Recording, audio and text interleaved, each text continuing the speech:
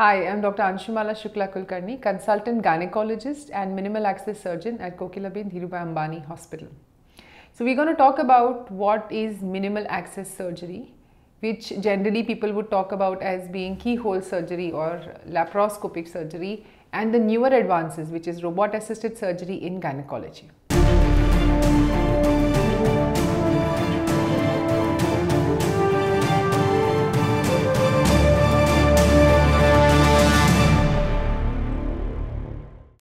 Let's talk about minimal access surgery in gynecology. I think most of you might commonly know what minimal access surgery is about. Using a telescope which is about a centimeter or one, 10 millimeters in size and small instruments which are 5 millimeter in size, we make keyhole incisions on the tummy and access uh, the problems that a woman may has, namely fibroids or if the patient requires a uterus removal surgery or requires an ovarian cyst removal surgery or in special circumstances what is called as endometriosis surgery. Now this was our routine. We used to do laparoscopy for the last uh, maybe 16, 17 years, but we have evolved in that because there were certain shortcomings of laparoscopy where the vision used to be only on a two-dimensional image and the instruments were straight stick instruments like this. And in order to get over whatever shortcomings the laparoscopy was having, we started the robot assisted surgery program in Kokilaben Hospital.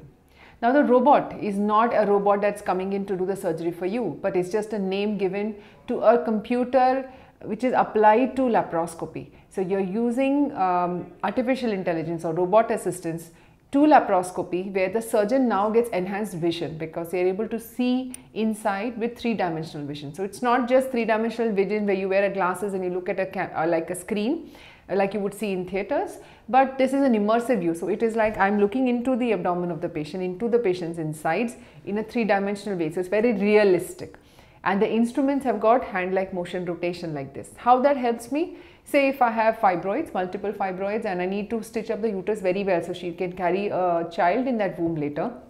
The robot helps me to make precision, it helps to improve the precision here, it helps to reduce blood loss, it gives very little pain. So the patients are pretty much up and about in 24 hours and ready to go home. It is brilliant for gynecological malignancies. However, there are certain aspects where robot assisted surgery actually is uh, recommended namely patients who have endometriosis. We all know, uh, we may have heard of what is endometriosis. It is a growth of uterus lining outside the uterus and it can cause devastation inside. It can cause things to get stuck to each other, the intestines, the urine pipe. Um, there could be multiple surgeries having done for this patient because she has so much pain or infertility. When these patients require precision, they require better visualization to reduce complication rates or they require a better uh, dissection capability, that's where the robot actually comes in. So our success rates are better uh, for severe grade 4 endometriosis when we use the robot assistant to the surgery as compared to doing it with the help of uh, laparoscope. We also use the robot technology to do what is called as pelvic floor repair. So we have all heard of, uh, may have heard of uh, how uh, women come in with uh, something coming out, the uterus has come down from its position, the bladder has shifted from its position. These are cases where uh, now doing a one single surgery for all, which means just remove the uterus and put some few stitches from below, does not work anymore we do what is called a site specific defect repairs which means we look at where the defect is we look at where the support system has actually gone loose and target it and put stitches in that particular position.